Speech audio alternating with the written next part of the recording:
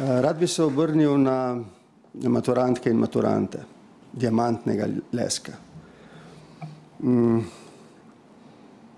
V življenju uh, me je vedno vznemirjala zgodba ljudi, zlasti tistih, ki smo jih širše poznali, ki so bili slavni ali drugačni, uspešni. Uh, vedno me je zanimalo, kaj jih dela drugačne. Potem pa je v mojem življenju tako naneslo, da me je služba, službena dožnost postavila na mesto, da sem se z njimi tudi srečeval in jih odlikoval. Uh, na področju športa, na področju kulture, na področju politike, znanosti. In dokopal sem se do zanimivega spoznanja, da pravzaprav niso imeli veliko več talenta od drugih.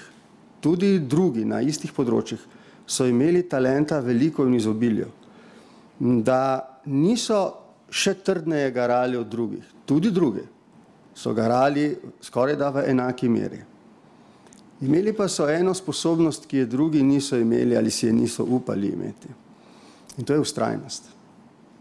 Šlo je za to v teh uspešnih zgodbah in mislim, da gre za to tudi pri vas zdaj in da bo šlo toliko bolj v vašem nadaljnem življenju, kakršnokoli si boste že izbrali, zato da boste posegali po zvezdi, ne samo zaradi tega, ker ste inteligentni in pametni in ker veliko znate in boste vedeli še več, ampak zato, ker boste ustrajni. Pred seboj boste imeli neko predstavo, ki je drugi ne bodo imeli. Tudi zaradi vaše razgledanosti morda je drugi ne bodo imeli. Vi pa jo boste imeli. Imeli boste neko predstavo, ki je drugi še ne bodo vzrli. Na horizontu bo neka zamisel, ki je drugi ne bodo imeli. In do tam sem se naučil v mojem življenju, srečujoč ljudi, ki so uspeli vas bo čakalo neskončno veliko porazov. In se boste uspeli in boste spet padli. In se boste še enkrat uspeli in boste še enkrat padli in večina drugih bi takrat omagala. In vi boste šli naprej. In boste prišli do konca. Tako kot ste prišli do konca,